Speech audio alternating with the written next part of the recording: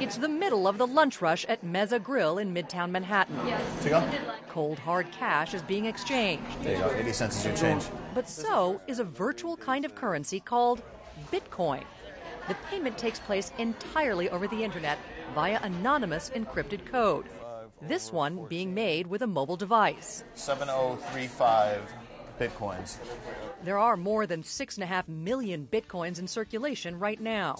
Users can purchase everything from clothing to professional services to tech gadgets. Meza Grill is one of the few brick and mortar businesses accepting bitcoins.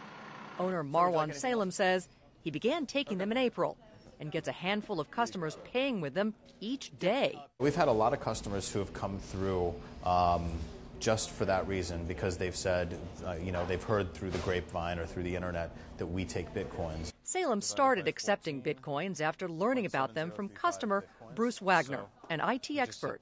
I use it as much as I can. Uh, a lot of people are just getting into it to invest, but I use it, uh, obviously, have lunch with it here. We try and support all the merchants who accept Bitcoin.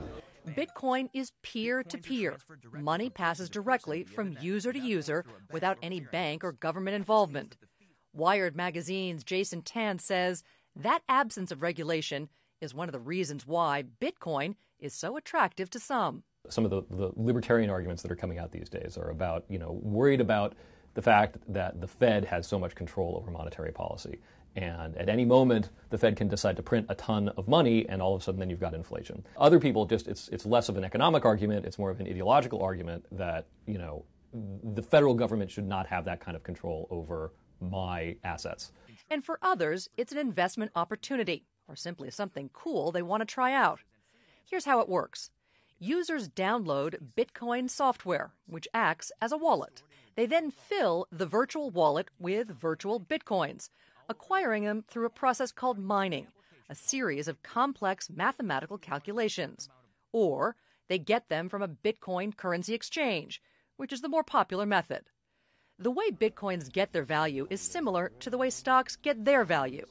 Bitcoin buyers drive the value up, sellers drive it down. Recent history is rife with examples of people who've tried to build alternative currencies. Frankly, they never end well.